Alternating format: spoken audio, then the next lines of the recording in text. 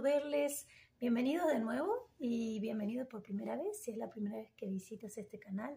Mi nombre es Lucía Radetsky, soy consultora de salud holística y cristiana y estamos trabajando el día de hoy con un tema que es bastante interesante y complejo.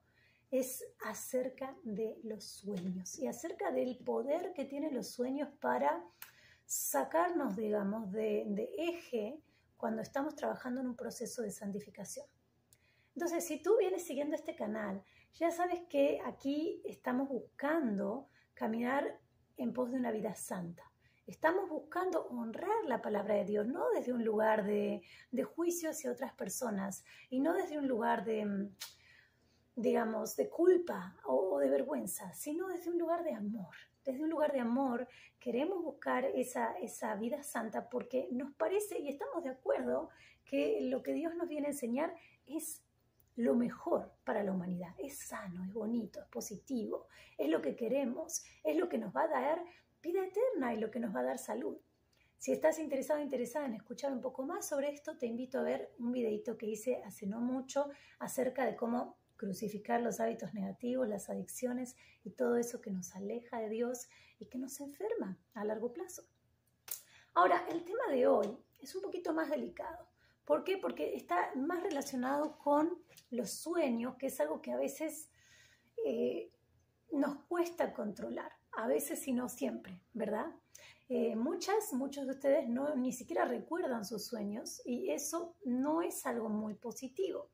La verdad es que deberíamos estar rezando que el Santo Espíritu nos permita recordar nuestros sueños, porque los sueños traen muchos mensajes, muchas veces de Dios, pero también nos pueden ayudar a entender cuando está habiendo un ataque espiritual, cuando está habiendo determinadas estrategias que el enemigo utiliza durante la noche. Y sabemos que mm, la gente que está relacionada con el satanismo, que está relacionada con la brujería, con todo esto, utilizan la noche para afectar, em, para, digamos, realizar sus fechorías, como lo llamamos, para realizar este, actos negativos contra gente que eh, les representa un problema o simplemente para satisfacer sus deseos también, ¿no? Entonces, ¿qué pasa? Es importante como cristianos, como cristianos o como alguien que se está acercando a Cristo, que pidamos a Jesús que nos ayude a recordar nuestros sueños y que pidamos también que el Santo Espíritu nos permita comprender los símbolos de esos sueños, nos permita también encontrar qué, qué es lo que Dios nos quiere decir con ese sueño.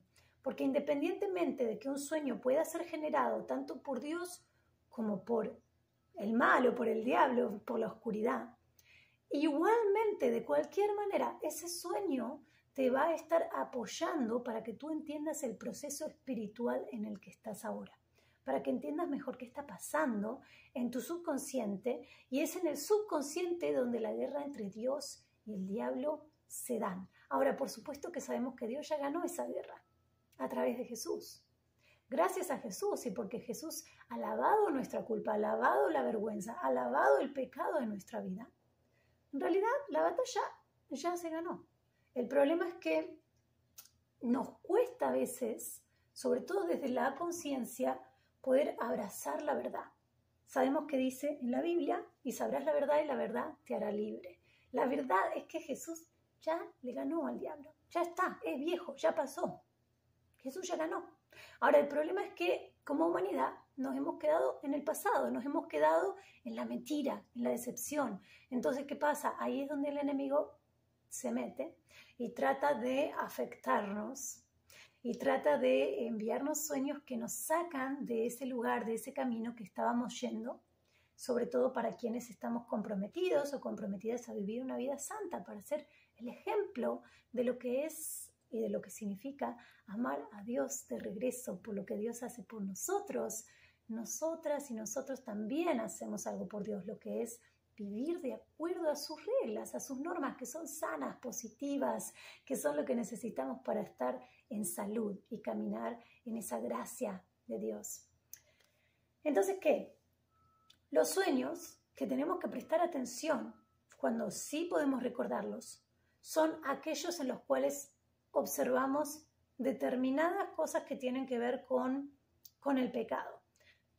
Entonces, por ejemplo, si tienes un sueño donde estás em, teniendo relaciones sexuales, sobre todo si son relaciones sexuales, digamos, eh, ilícitas, que no son con tu pareja, con tu matrimonio, ese sueño, cuidado, porque te está hablando de un ataque espiritual, te está hablando de, sea que una persona está intentando tener una relación contigo que es ilícita, o puede que no sea necesariamente sexual, puede que sea este, un acto de dominación, un acto de, eh, sí, de, ganar poder sobre tu espíritu y de control y dominación.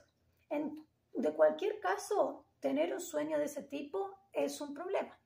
Entonces, eh, esa es una de las primeras cositas que vas a tener que prestar atención cuando tienes un sueño de ese tipo y si tienes la gracia de recordarlo, vamos a estar rezando para cancelar, para arrepentirse y cancelar cualquier efecto negativo de este sueño.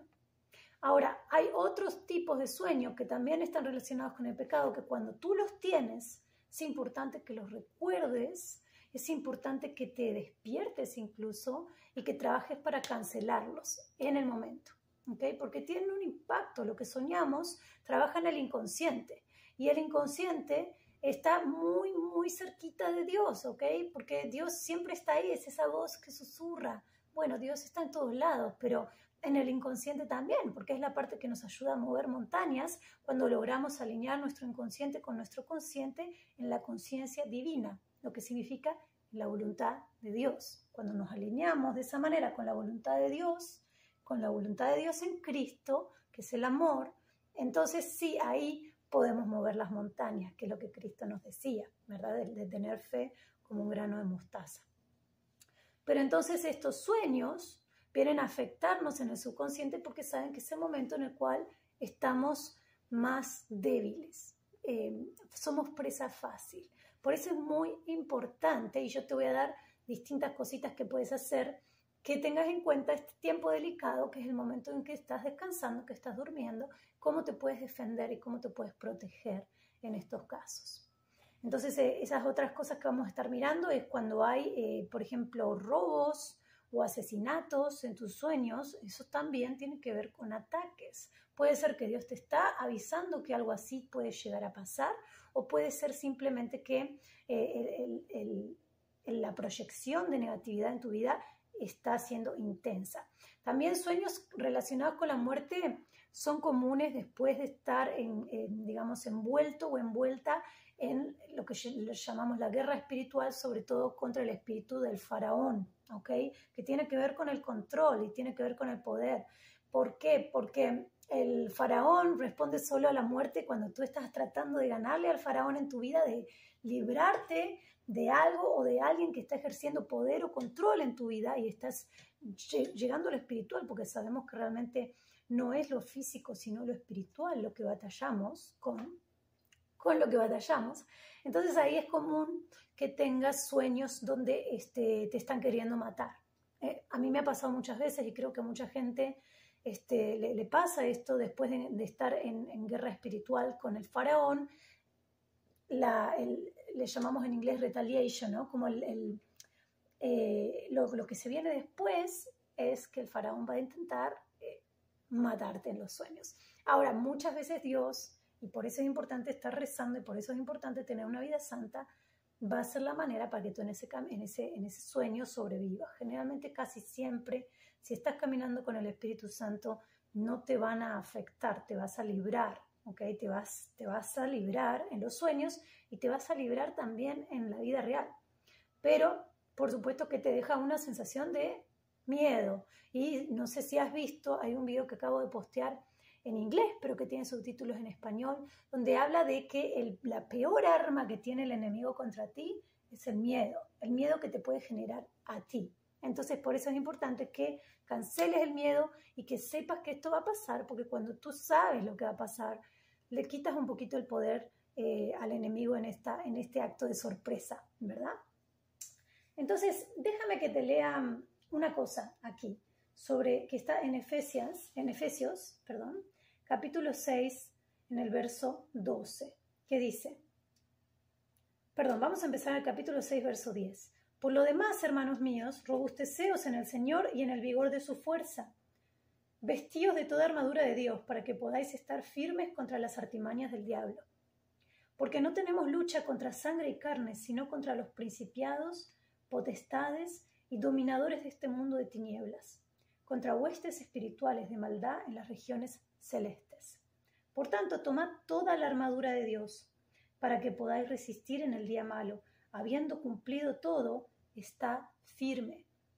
Está pues firme, ceñido vuestro lomo con la verdad y vestidos con el corazón de la justicia y calzados los pies con el apresto del Evangelio de la paz. Ok. Bueno, entonces esto que te estoy leyendo es importante ¿por qué? Por esto que decimos, ¿no? Que no estamos luchando contra carne y hueso.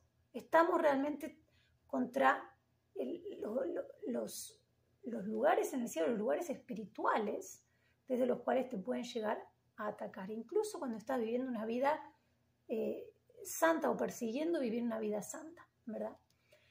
Entonces, estábamos diciendo que em, sueños que tienen que ver con el pecado, que tienen que ver con una vida sexual no relacionada con el matrimonio, con una relación sexual o una tentación, que tienen que ver con persecuciones, matanzas, robos y también que tienen que ver con comida y bebida y enfermedades. Son todos estos y puede que haya más, pero yo te estoy diciendo algunos, los más comunes, que tienes que prestar atención. Entonces yo te invito a que todas las noches le pidas al Santo Espíritu que te permita estar despierto en los sueños o en los sueños, eh, o despierta, ¿verdad? ¿Por qué? Porque ese, esa conciencia de esos sueños te van a permitir entender qué está pasando y defenderte.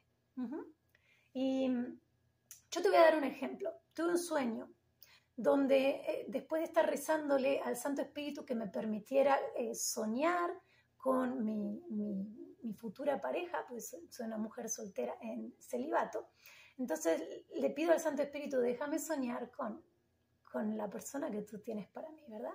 Me voy a dormir, tranquila. Y tengo un sueño que no esperaba, una relación que no esperaba.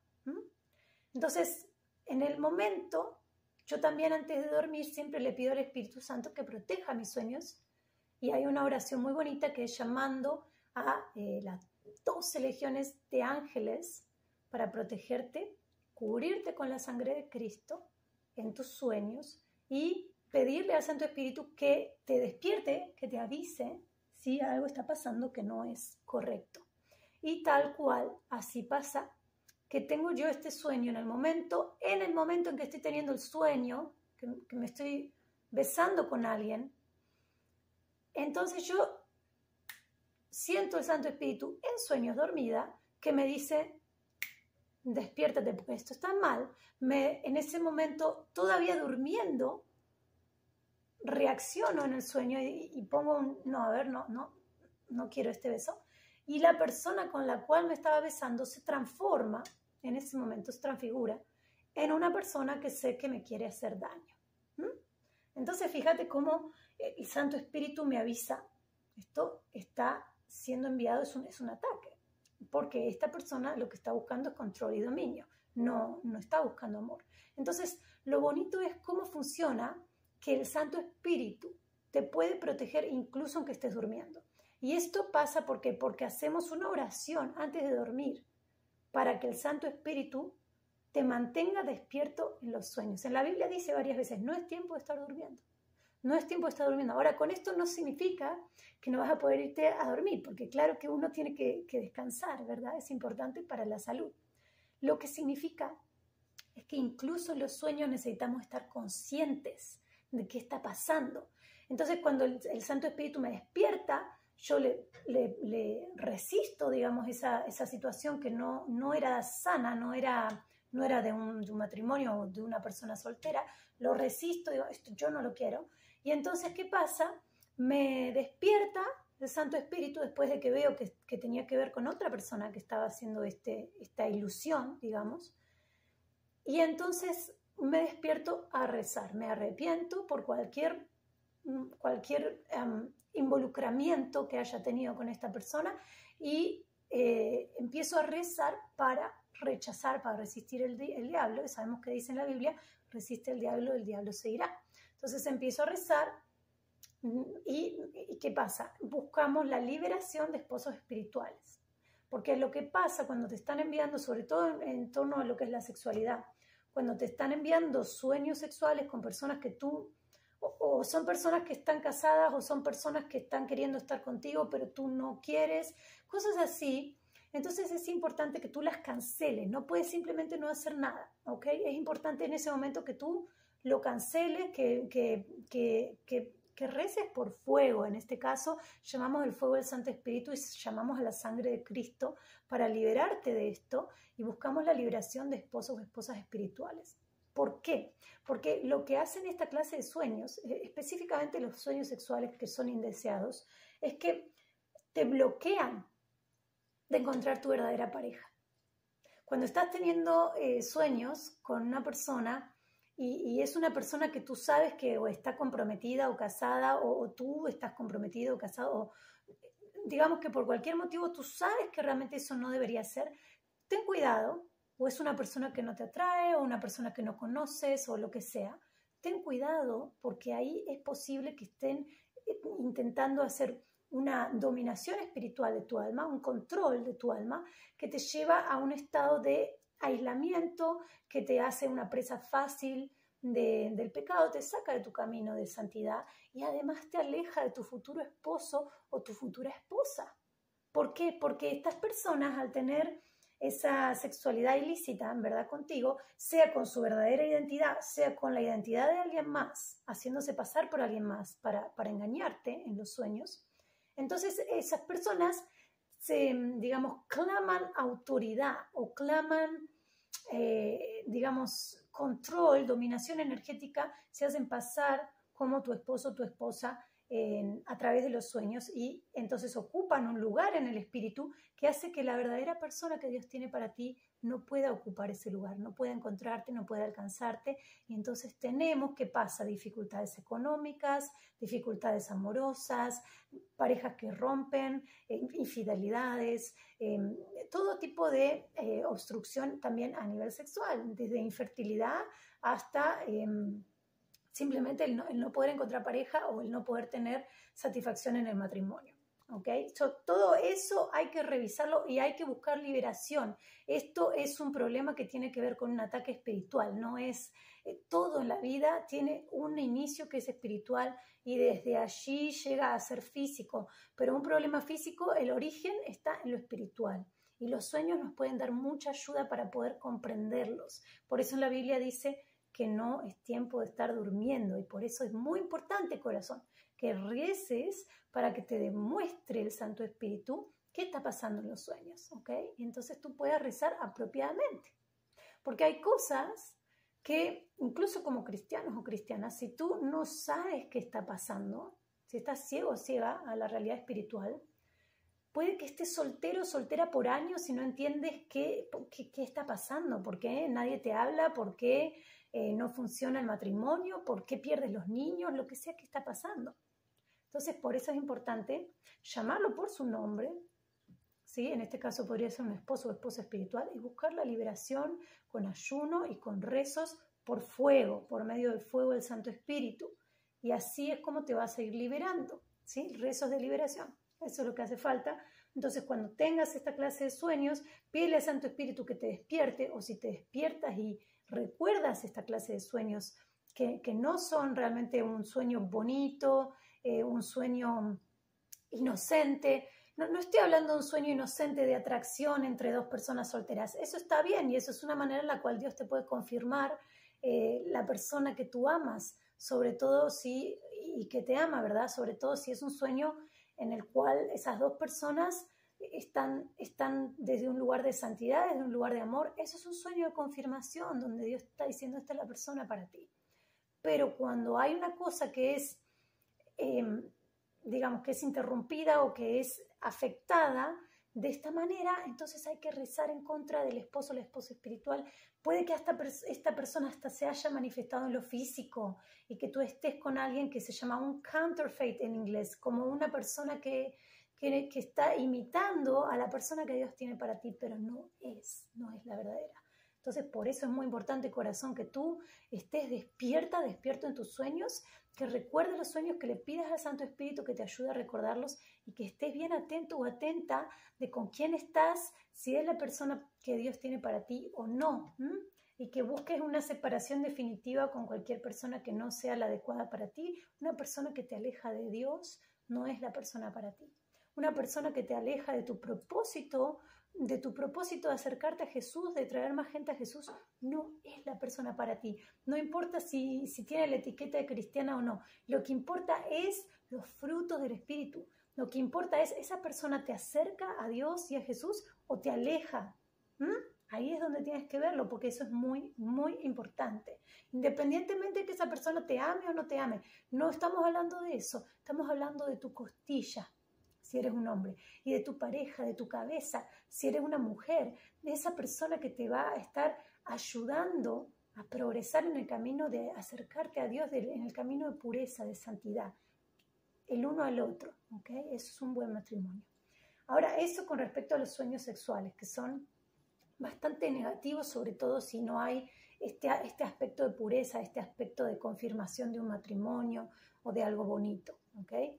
Eh, ahora, con respecto a los sueños que tienen que ver con comer y beber en un sueño, estos sueños son particularmente delicados en torno a la salud.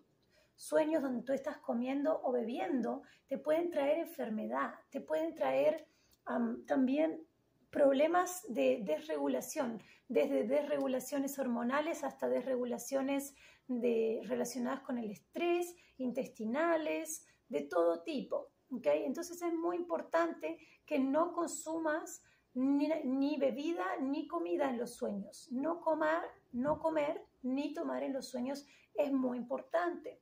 ¿Por qué? Porque están estos agentes que también están buscando hacerte caer en tentaciones que tú en el día no, quizás tú eres una persona que no toma, que no fuma, que no come, que no come mal o que no es glotona, y sin embargo en la noche tienes un sueño de estos, no quiero que pienses que eres tú, sino más bien que entiendas que estamos aquí trabajando contra, como dice en la Biblia, los dominadores de este mundo de tinieblas, huestes espirituales de maldad en regiones celestes. Entonces, corazón mío, no permitas que eso suceda, te tienes que despertar. Y si no te puedes despertar en el momento, entonces cuando ya te has despertado o antes de dormir, necesito que te enfoques en rezar contra esto, que lo canceles. Yo cancelo en el nombre de Jesús, por la sangre de Jesús. Cualquier cocinero demoníaco que me está dando de comer en los sueños, cualquier barman o bartender, cualquier persona que me está dando de beber en los sueños, lo cancelo y lo envío de regreso a quien lo envía. Rezos para enviar las flechas de día y de noche de regreso a quien la envía. Yo envío esta comida en los sueños de regreso a quien la envía lo envío de regreso, ¿sí? Lo cancelo y el diablo se tiene que ir, lo cancelo por la sangre de Cristo. Por la sangre de Cristo yo soy completamente libre hoy de todo sueño negativo, de toda proyección negativa en mi vida que viene a través de los sueños, ¿ok? Bueno, corazón, dice aquí, dice aquí en la Biblia, viviendo como hijos de la luz en Efesios, Efesios capítulo 5, eh, perdón, hablo spanglish yo. Chapter, eh, capítulo 11, capítulo 5, verso 11, y dice, no participéis en las obras infructuosas de las tinieblas, sino más bien redarguidlas, o sea, que las, que las empujes, que las evites, que las canceles. Y dice aquí, porque es vergonzoso aún el mencionar lo que ellos hacen en secreto. Es verdad que no es. A mí me da cosita hacer este video, pero lo tengo que hacer porque en verdad es cierto, hay muchos de ustedes, muchas de ustedes que tienen estos sueños y no saben qué está pasando. O quizás tú estás soltero y soltera y no entiendes por qué tiene tanto tiempo que no, que no encuentras al amor que Dios tiene para ti. Este puede ser el motivo. Entonces aquí también te dice, despiértate, tú que duermes, levántate de los muertos y te alumbrará Cristo. Y dice aquí, todas las cosas redarguidas por la luz son hechas manifiestas, porque la luz es lo que manifiesta todo. Entonces es eso lo que te estamos lo que te estoy diciendo ahora, que el Santo Espíritu me comparte, que es importante que traigas la luz de Cristo a tus sueños, que le pidas a Cristo que en tus... Hola, hola amigos y amigas, qué bonito verles. Bienvenidos de nuevo y bienvenido por primera vez, si es la primera vez que visitas este canal.